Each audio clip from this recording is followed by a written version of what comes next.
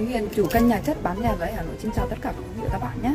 Thì hôm nay Thúy Hiền sẽ giới thiệu các bạn một siêu phẩm và ô tô vào nhà và đồng thời là có thể là kinh doanh tại nhà luôn. Và bây giờ các bạn cùng xem video nhé. Để Thúy Hiền bật mí cho các bạn nhé. Hôm nay thì căn nhà chất sẽ giới thiệu cho các bạn một siêu phẩm nằm trên